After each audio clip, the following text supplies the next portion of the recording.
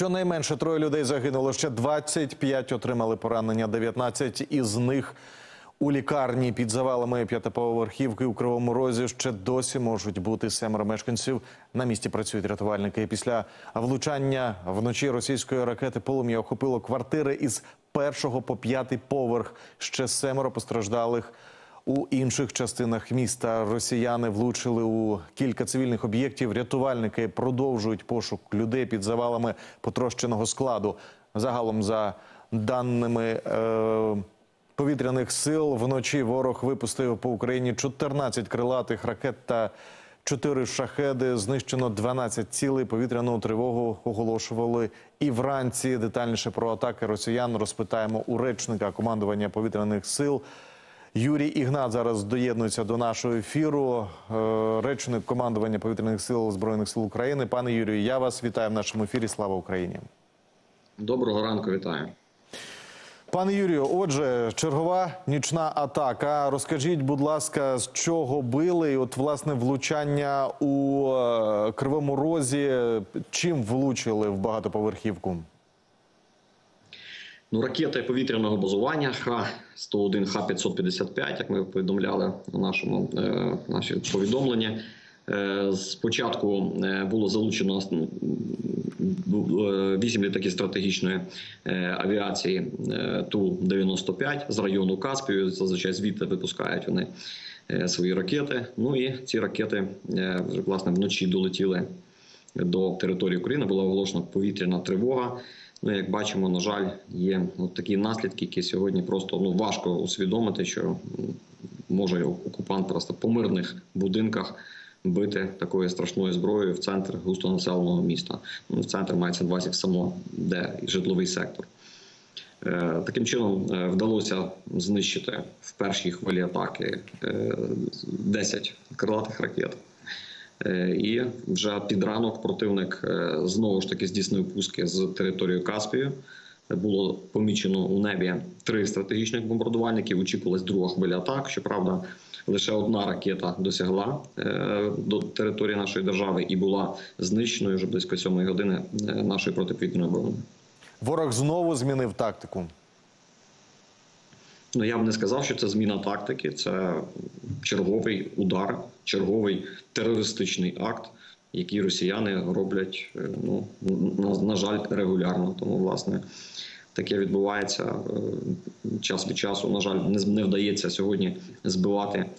Усі ракети, як нам всім того хотілося, ну бракує засобів протиповітряної оборони. Про це е, не раз наголошували керівництво держави, що все ж таки наші партнери дещо пришвидшували нам надання і е, самих комплексів, і ракет до них. Ну і відповідно е, надання літаків, які, які могли б теж е, наблизити відсоток збиття до такого, як нам потрібен. Раніше і ви, і багато експертів наголошували на тому, що от росіяни виснажують нашу ППО і вишукують слабкі місця. Наскільки от зараз нашим протиповітряним силам вдається протистояти е, цим от загрозам? Е, Ну, бачите, е, виснажують вони ППО не просто так. Вони хочуть е, зробити все для того, щоб власне тими дронами камікадзе вони дозовано починають діяти на різних е, ділянках фронту. Не так багато дронів камікадзе. Цього сьогодні цього кілька залітало там в Харківській області. е, Їх е, збивали. Тому противник намагається знесилити, ну верніше виснажити нашу ППО таким чином, щоб ми витрачали на порівняно дешеві БПЛА, витрачали боєкомплект. Ну відповідно виявляє місця розташування нашого наших зенітних ракетних систем для того, щоб вже при наступних ударах е, коригувати свої дії і прокладати якісь інші маршрути. Е, Робить зараз обстріли фактично йдуть регулярно, використовуються е, ну усі типи озброєння, які ворог собі може дозволити. От і все. А як ми можемо от ефективніше протистояти саме шахедам? Тому що, от як ви зазначили, що ракетами їх доволі дорого збивати. Знаєте, ми за питання ціни для нас не, не має бути взагалі там підніматися. Буде треба збивати е, усім, чим можемо, щоб якомога менше цього прилітало е, і било по наших мирних містах. Але все ж таки е, про раціональність треба теж думати, тому що збивати е, ті дрони камікадзе краще тими засобами, які ну потребують менших затрат і е, які.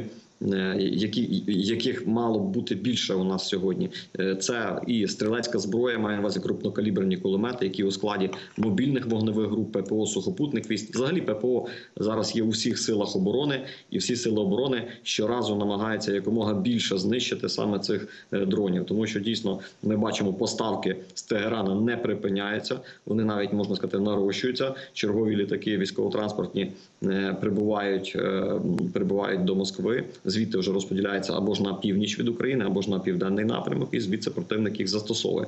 Тому треба е, озброєння, яке менш е, більш, скажімо так, дешевше, там більш раціональніше використовувати. Треба теж нарощувати у всіх силах оборони, щоб на підступах до е, наших кордонів, до лінії бойового зіткнення збивати якомога більше БПЛА і надавати їм можливості залітати всередину країни.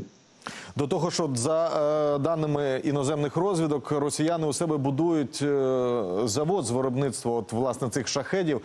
Як ви вважаєте, коли вони можуть поставити оце от вже на потік виробництво, і що тоді буде з нами? Ну, знаєте, ми теж не будемо. е, Україна має на увазі сидіти, склавши руки. У нас теж потужності, е, мабуть, працюють е, доволі таки на високому рівні. Маю на увазі підприємства, які можуть зараз виготовляти ударні безпілотники. Нам допоможуть партнери з цим озброєнням. Ми теж будемо нарощувати. Зрозуміло, що в цьому напрямку, тому що ударна ударні БПЛА сьогодні набувають нового рівня. Так навіть ці дрони, на які зараз оголошено всеукраїнський е, збір, так збирають. не Маю на увазі е, маю на увазі квадрокоптерного типу. Також інші БПЛА, які більш потужні, які мають велику дальність застосування, великий. Великий е, заряд е, вибухівки, це буде теж у нас розвиватися. Ну але крім того, зазначу, що потрібно все ж таки і засоби протидії теж розвивати. Я маю на увазі це і стрілецька, стрілецькі засоби, ракетні засоби, також е, засоби радіоелектронної боротьби, які можуть впливати, на діяльність цих літальних апаратів. Потрібно нарощувати теж в цьому плані. І літаки. От, власне, е, про літаки е, йтиметься е, згодом на черговому засіданні в форматі Рамштайн. Що ви очікуєте від цього засідання?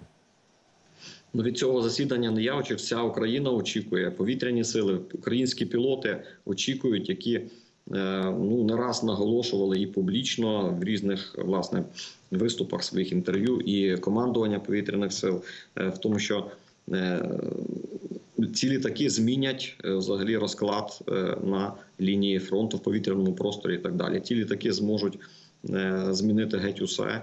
Вони зможуть діставати далеко як в повітрі, так на землі, так і на морі.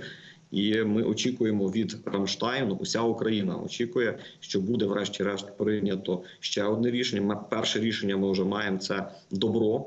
Це добро Сполучених Штатів на те, що вони будуть е, як надавати літаки, так і допомагати в підготовці наших пілотів, надавати озброєння для цих літаків. Ну тепер очікуємо. Хто саме, в якій кількості, мабуть, так і коли вже зможуть наші пілоти, врешті, почати ту підготовку, про яку всі зараз говорять, тому що всі вже е, ну, майже з півроку відправляють льотчиків е, наших вчитися і кажуть, уже вже, мабуть, вивчились, вже, мабуть, вміють. Ну поки що ми на стадії прийняття рішення. Куди поїдуть пілоти, в які країни, і це має статись найближчим часом.